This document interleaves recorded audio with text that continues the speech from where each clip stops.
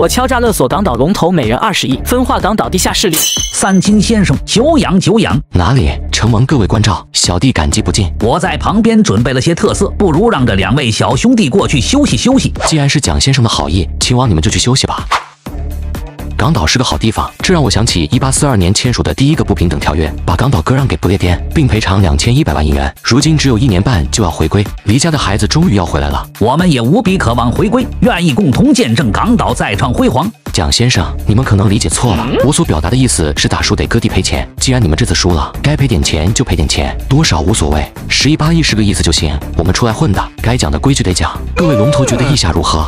此言一出，三人全都愣住了。我们再给你一口饭吃，你来到这里找我们要十亿八亿，年龄不大，口气真不小。年轻人急功近利可以理解，但没必要锋芒太露，上来就把自己的路堵死，不是聪明之举。两位老大说的是，二十亿才配得上两位的身份，只要给钱，我保证肖萌不会动你们的任何肠子。这下面子给足了吧？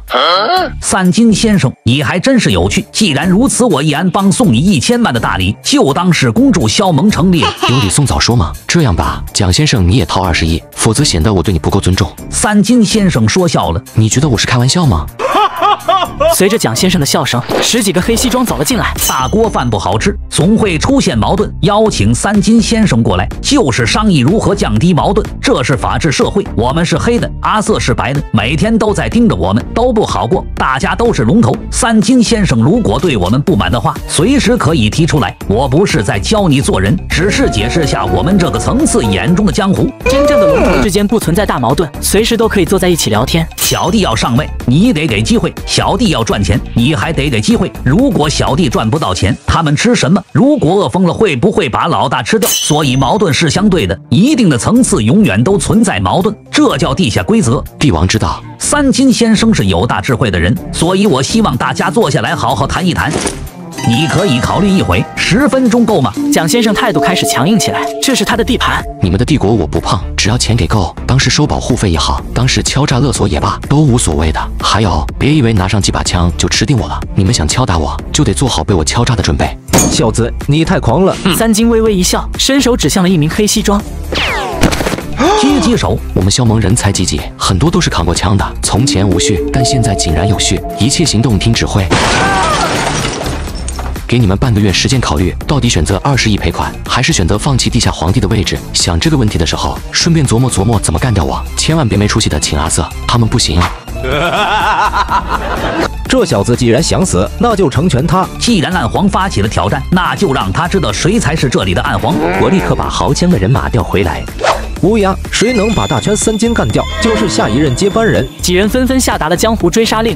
消息很快传到了黄甫仁耳中，他连忙找到三金。我是币安局外勤科三金，执行卧底任务。我也不想告诉你身份，但上面觉得我快彻底放飞了，只好让你监督并配合我。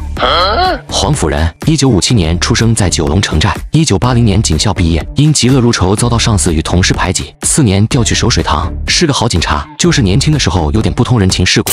你调查我，你的资料早就有人发给我了。黄色，你得配合我的任务。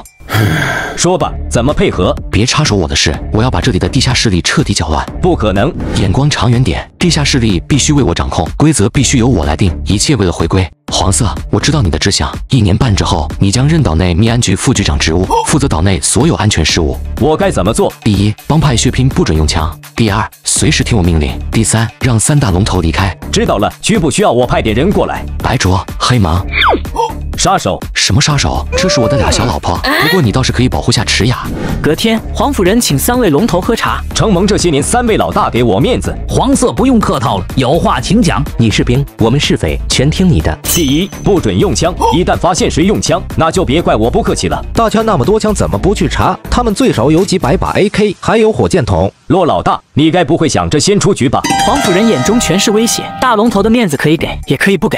肖萌那边我也谈过了，不会动枪。如果他们动了呢？谁动谁死，这是红线。洋鬼子很快就走了，从上到下都在为回归做准备。你们觉得是几个帮派重要，还是前途重要？黄色想我们怎么做？我听说三位在外面的生意做得风生水起，经常出去谈合作，这就对了。赚钱才是第一位的，帮派的事没那么重要。的确如此，我前些天还跟两位老大说呢，仙国有个大项目，两位你们订机票没？要不我们一起吧？骆老大两人也知道黄甫仁想让自己离开。但却没那么甘心。不能耽误生意，因小失大就不好了。生意的确最重要，那就麻烦蒋老大把机票订了。那就好，祝各位龙头发大财。船大难掉头啊！以后怕是就没有江湖了。不是说数十年不变吗？离家多年的孩子回来了，该教的还得教，不然就得挨揍了。定今天下午的机票如何？当天下午，利安邦、二十一 K、盛和会的三位龙头离开了港岛，肖农借机狂扫二十一 K 的场，双方形成了大规模的血拼。鸭寮街内却是一片祥和，是时候走进湘江大美女的生活了。嗯三金先生，你很悠闲啊。二十一 K 的乌鸦，回答正确，但是没有奖励。三金先生，帮我个忙可以吗？你说我特别乐于助人。把我暂存在你那里的钱全部转给我。乌鸦，我欣赏你。骆驼不重用你是他的损失。相对比铜锣湾陈浩南、屯门山鸡、北角大飞，我一直最喜欢的都是你。我去，你在说什么？可能是我搞错了，这个世界没有陈浩南。三金先生，你是不是秀逗了？脑子不好要去医院？就你这样的怎么做大哥？我小弟多，当然能做大哥。你笑萌的小弟都出去砸我们场子了，不然你以为我能这么轻松过来？我操！你牛叉，我认输。我说了很欣赏你，陪我走走，有些事想跟你聊一聊。